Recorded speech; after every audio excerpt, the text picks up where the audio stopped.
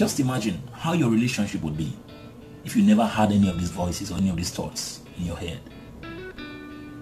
Imagine how your partner would look like or how you would feel knowing that everything in your head is pure, plain, good, loving, lovely, sweet, genuine about your partner. I want to share with you some things about things about insecure people. Insecure people. They are jealous of their partner's friends. They need constant validation. Has no outside friends or interests. He thinks he still have feelings for your ex. Or he thinks you still have feelings for your ex. That is what the insecure partner would think. He talks about his exes and how they cheated on him. He stalks you on Facebook and other social media. He checks your phone. An insecure partner would check your phone and stalk you everywhere. They read your mail. They want to know what messages you are receiving and who is sending you messages, who is liking your posts, who you, whose posts you are liking. Terrible thing to, to, to, to, see in a partner. Smothers you with attention and give here. When you begin to receive gifts unnecessarily from a partner, be very careful. Watch out. He thinks you are being unfaithful. His mood depends on you. It's not a nice thing. Our mood should not be dependent on our partners. He's overly sensitive to criticism. They never take criticism. They fight back when you criticize them. You get upset.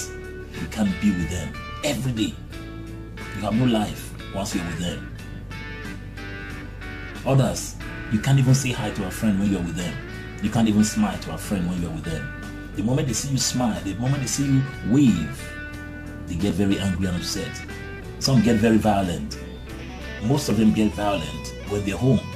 They revisit the issue and say, Come, who was that guy you were waving? Who was that girl you were talking to? Who was that guy you were smiling at? Who was that girl you were waving at? Insecurity. These are some of the things most insecure people would do. Insecurity in relationships, whether we are single, dating, or in serious relationships, long-term relationship, there are many ways our critical inner voice can creep in to our romantic life. Really.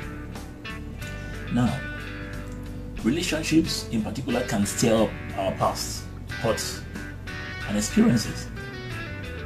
They can awaken insecurities we've long buried and bring up emotions that we don't even expect. Many of us harbor some unconscious fear of intimacy.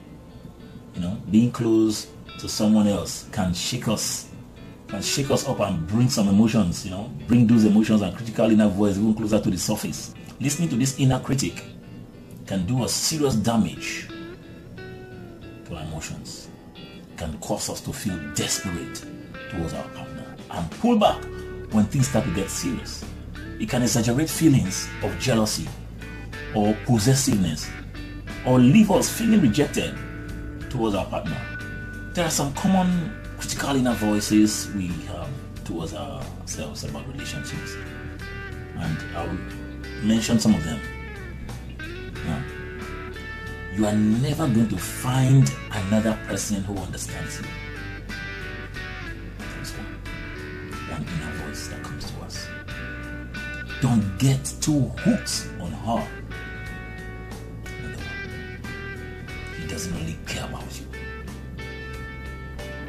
She's too good for you. You've got to keep him interested, else you're better off on your own than with her or than with him. As soon as she gets to know you, she will reject you. It's your fault if he gets upset, or it's your fault if she gets upset. Don't be too vulnerable, or you just end up getting hurt. Critical inner voice. We must be mindful of what we give attention to. Be mindful of the kinds of thoughts we have about our partners and about ourselves and about our relationships.